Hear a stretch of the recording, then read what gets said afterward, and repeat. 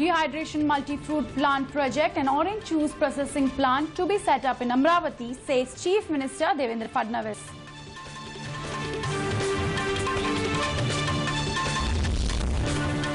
FTI students to meet I&B Secretary in Delhi on Tuesday for further talks.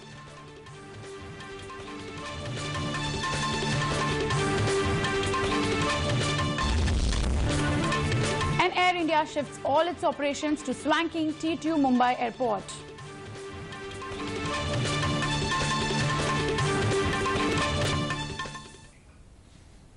Thank you, Mark. Good evening and welcome to Metro Scan from Mumbai. I am Mamta Bhatt. Now the news in details. Chief Minister Devendra Fadnavis said dehydration multi-fruit plant project will be set up in Warud and orange juice processing plant will be started in Morshi. He was speaking at inaugural function of National Agriculture and Orange Festival at Warud in the Amravati district. He further said tax on liquor and cigarette will help to cope up with the drought situation. He also criticized Congress saying that they are responsible for farmers' splint and this cannot change in one year.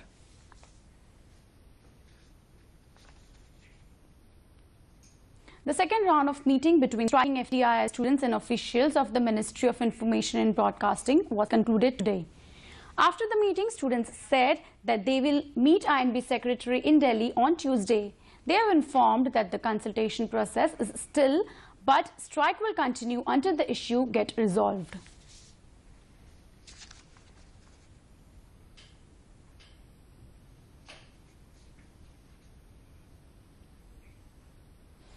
Air India shifted its operations to T2 starting today. Air India CMD Ashwani Lohani said, as the airline is shifting to a swanking new terminal, it will provide passenger with great experience. He added that human resource is the biggest challenge before them. This move also helped in improving on the time performance and passenger convenience. Pankaj Srivastav, Director Commercial Air India, said T2 will be an opportunity to integrate the service and likely to AI service. Thank you for talking to us. Uh, now, uh, Air India operations are shifting to T2. How will this step help the cash-strapped airlines? Oh, well, uh, it gives an opportunity for us to uh, synergize our domestic and international operation, which was uh, happening from two different terminals till now. And the transfers between the domestic to international and international to domestic uh, was uh, kind of a nightmare because passengers used to go almost five kilometers Serpentine Road connecting the two terminals. Now, that is uh, all thing of the past. And what we look now is uh, integrated operations out of this terminal, uh, giving huge uh, passenger convenience for connections. And once such kind of connections are put in place, we would see much larger numbers using Mumbai Airport, connecting to various parts of India, and also from various parts of India to the rest of the world. So, give us a sense. Uh, uh, it's uh, read. Uh, it said that domestic uh, operations are shifting to T2. So, can we say now all the operations uh, a passenger will find in T2 and everything will be uh, f- uh, will be found in T2? Yes, of course, we have moved out of uh, the old terminal lock, stock and barrel. So as far as Air India is concerned, we will have no operations from the old terminal.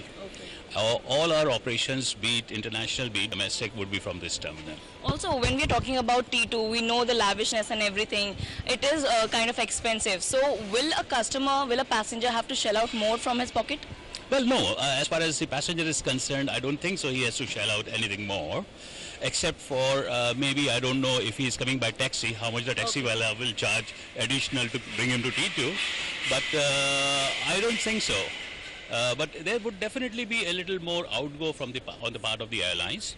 But we are uh, we are very sure that uh, we will be able to uh, overcome that additional uh, expenditure by way of increased number of passengers using Air India.